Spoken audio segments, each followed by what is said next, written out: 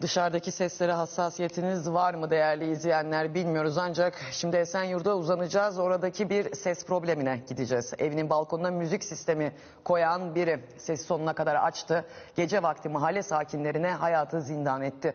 Yaptığı doğru değildi ama işin içinde de iş vardı. O magandalın altında yatan aile dramını şu haber ortaya çıkardı.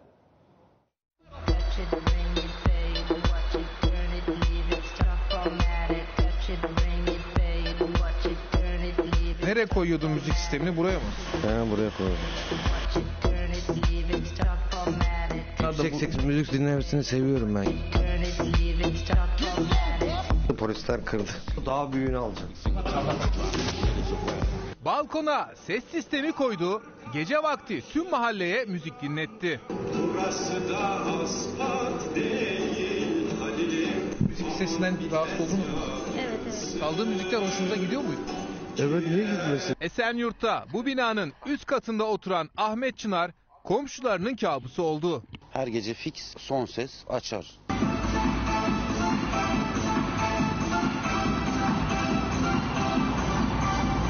Tabii ki de hoşlanmıyoruz ama Allah kimseyi şaşırtmasın. Ben onlardan rahatsız olmuyorum da onlar mı benden rahatsız oluyor? Yani sonuçta müzik sesi yankılanıyor bütün mahallede. Yani hastası olan var, çocuğu olan var. Bunu hiç düşündünüz mü? Evet. Evet. Alkol kullandığım için onun bazen farkına varmayabiliyorum. Müzik yayını yapan Ahmet Çınar'ın yanındayız. İşte balkon burası. O müzik sistemini buraya koyuyordu ve müziği de sonuna kadar açıyordu. İnsanlara buradan dinletiyordu. Seviyorum abi müzik dinlemeyi. Saat 1'e kadar müzik dinlemek serbest değil mi? Ancak hepsinin altında bir aile dramı çıktı. Ben içimdeki canavarla uğraşıyorum. Ben eşimden boşandım, annem babam boşandı. Derdime çare arıyorum.